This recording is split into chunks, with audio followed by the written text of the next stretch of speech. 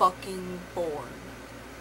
And I don't even know why I'm recording myself because I feel like a douche sitting here with this on my head in an empty room talking to my iPod. And I don't know why I have this on my head. I just, I thought I, I don't, I don't know. I was bored. And I just got a text because I'm popular. If I was popular, I wouldn't be bored right now. Actually, someone asked me to hang out today, but I said I was busy. Oh my gosh, two texts. This is my phone. It's really annoying because it makes noises every time you open and close it.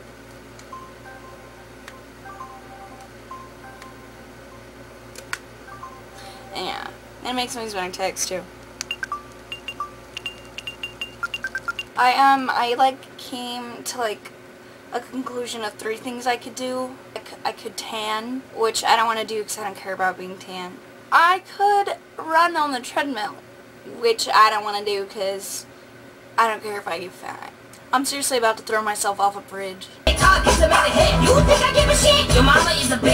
I took my surface piercing out. Look at it. It's it's not very cute. I almost feel like getting up and dancing in this area. But I'm not going to because I look like a douche. So yeah. I'm I'm a loser.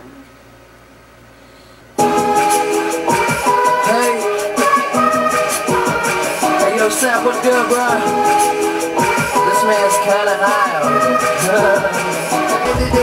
Give a fuck about a bunch And when you be the subject of the See this crazy life I have in A&R We gon' used to play me in they We gon' take over the world while these haters getting mad. So yeah, that's enough of that. Nah.